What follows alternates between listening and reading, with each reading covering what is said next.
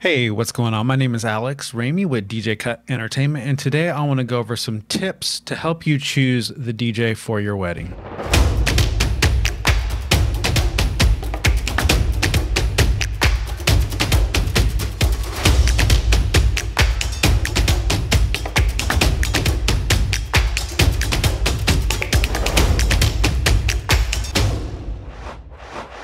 Today, I'm going to go over my tips of choosing the best DJ for your wedding.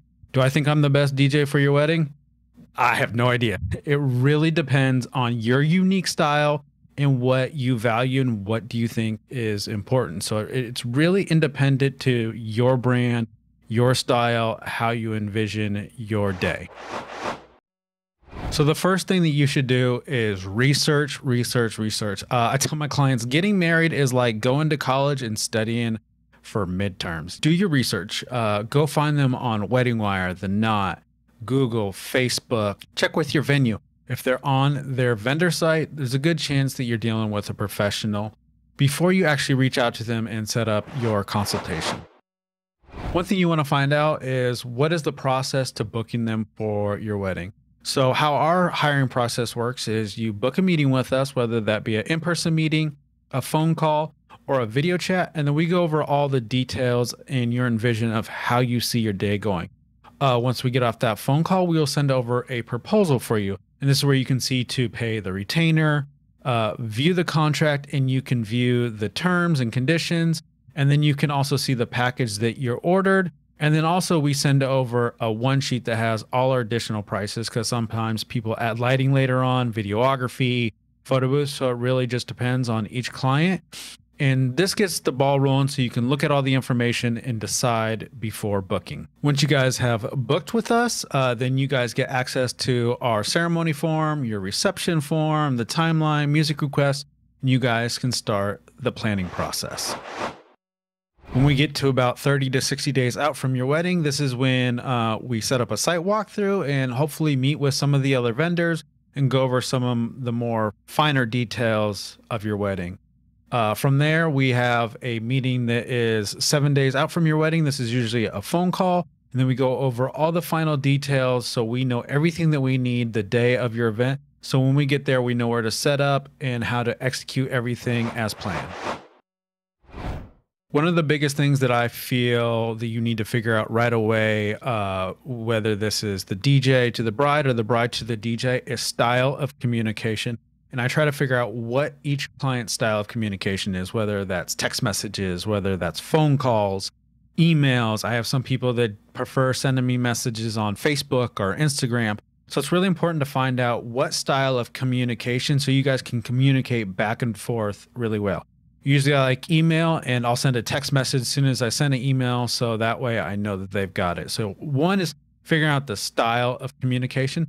Then when you're actually meeting with them um, in the consultation, it's like an interview process. You guys are interviewing each other to make sure your guys' style of communication matches. And you want to get with somebody that your conversations flow really, really well um, because this is dramatically going to affect the DJ on the day of your event. There have been times where I've gotten a consultation meeting. I'm sure that they were a great couple, and I just felt that our communication styles didn't match. We were having a hard time communicating and going back and forth via email. And so I just cut that off right there. I just felt that it wouldn't lead to a successful wedding. And I don't want a dissatisfied customer when it comes to the wedding because this is a once in a lifetime event and we have one chance to get it right. And I don't like any rough edges. I want everything to flow smoothly because it's just going to make both their lives easy. So one thing is find out who are you hiring? Are you hiring the DJ or are you hiring the company? With my company personally, in that consultation, you are going to talk to the DJ that shows up at your wedding. By chance, if we have a consultation, you guys take a while to get back with us and then we already get booked. We usually try to send out an email saying, hey, someone else is interested in your wedding day and we give you guys a heads up. If we get booked and then we need to send out another DJ, you guys know beforehand. I never have a client send a deposit or sign the contract without knowing who their DJ is for the day of their wedding. So one thing you want to find out is if your DJ is insured and what their policy is with drinking. This is a wedding, and yes, it's a party, but we handle it like a professional. We don't not put up with uh, any drinking on the job. Um, it's fun to party and drink and stuff, but just not with us when we're dealing with a wedding. There are game time decisions that you need a sober person to make, and people start drinking, and then emotions get involved, and we just knock that off the table. Um, we are insured up to a million dollars. A lot of venues that we work with need to require to see that even before we uh, put foot on the location. Um, when you get a client login, our insurance is listed. So if you need to send that out to anybody, you're more than welcome to download it, and it's right there for your convenience. I recommend booking a DJ that has multiple service, whether it be DJ and videography, DJ and photo booth, DJ and lighting. The more services you can kind of get under one company, this is what it does. A lot of times when we get to venues, I try to make a point to reach out to different vendors and start that line of communication. Hey, how you doing? Because I see people and they just get like this as soon as they get to the wedding, and they don't talk to each other unless they need something from one another. So I try to communicate as soon as I can uh, to eliminate this. Now, a lot of times you'll have a DJ and then you have a videography company the videography, you know, needs to tap into the DJ soundboard, and some DJs don't like this or don't allow this. Uh, I've seen at weddings before where we're starting the speeches and the videography company is off eating and they're missing some of the speeches. So the more services you can get under one vendor, this just eliminates that chance of them not communicating together. Um, so we do multiple services with us. Uh, sometimes people will get a DJ and a photo booth, and I love for me and my marketing to get lots of photos. So I'll get on the microphone and remind people, hey, the DJ booth is over there. Um, and so the photo booth company doesn't need to come over to us and remind us or let us know. I know all the announcements that I need to make, and it just keeps this streamlined and that open line of communication takes one variable off the table, and that's one less thing that you have to worry about. One thing you want to ask is what is the DJ's mixing style? How does he play music? Does he just play song end to end? Does he beat match the songs? Uh, do you play a lot of remixes? So you want to communicate the style of DJ that you want. Maybe get some examples of some past weddings that they've done. You know, I I do nightclubs, I do big festivals, and I do weddings. I DJ them completely different. It really just depends on my clients. Sometimes I have younger clients, they're millennials that want a lot of remixes. Still keep it classy for a wedding, but they're more upbeat. They like some trap music.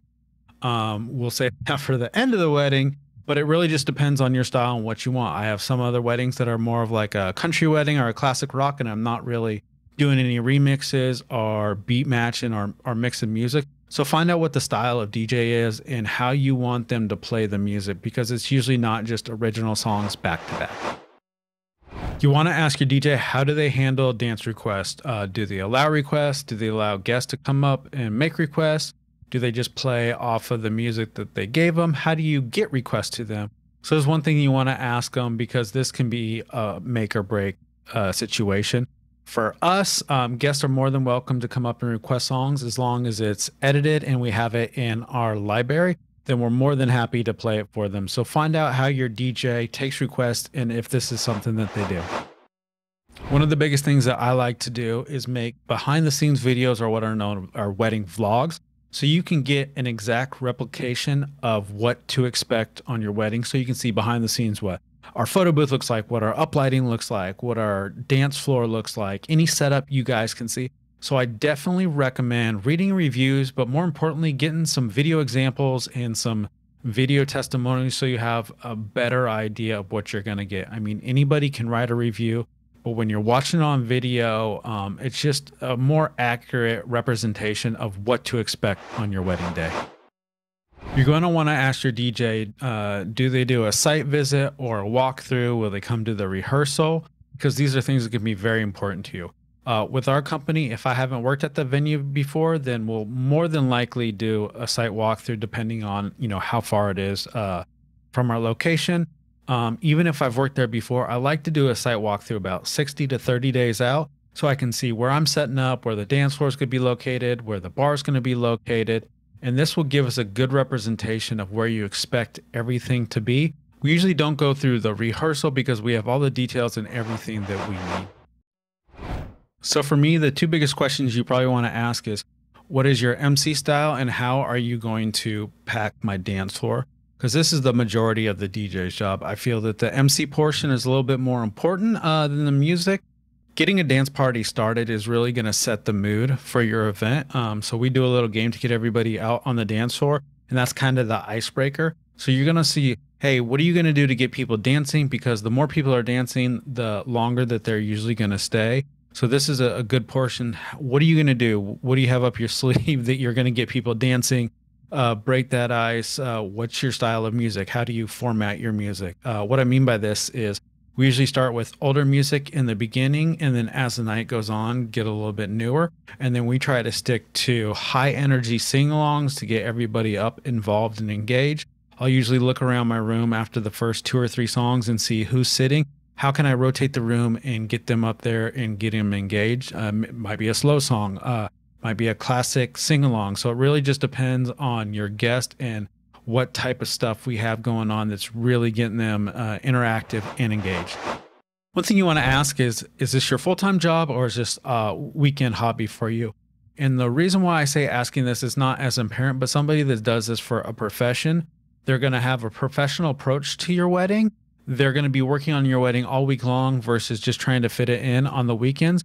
And they're going to have professional equipment because they do weddings every single weekend and the equipment they're using needs to be up to professional standards because you know some of the cheaper equipment when you're just doing weddings on the weekend aren't as to the high standards so they're not going to last as long. Uh, with our company we use our equipment for about two years and then we swap it out for brand new technology to make sure that we're staying up with you know the latest trends and make sure that our gear sounds good. And so this is kind of the difference of kind of like a trick question if you ask hey do you do this every weekend? Because the level of professionalism that you're going to get across the board is going to be vastly different. Now, when you're going through the dating process, is what I mean by this is when you're in your consultation, you guys are kind of feeling each other out and you're seeing what works with each other. And one of the things that you want to try to get a hint on is how flexible this person is. You want to get with people, whether it's a DJ, a planner, I guess kind of any wedding vendor you want to see how flexible they are with some stuff. Hey, if my you know wedding starts a half an hour late, how are you going to handle this? And so you're going to want to know somebody that that's going to be able to, to take charge, but also be flexible when it comes to certain things. That's going to really give you a good idea of how they're going to work well with others because it's all these vendors coming together and you're going to have to have some flexibility, but not break kind of mentality. And so you want people that can work well with each other, but still be flexible, but know when they need to be stern and to give you a professional product. Thank you guys again for watching this video. I hope it is helpful in some tips and suggestions when trying to choose a DJ for your wedding. Thank you guys very much.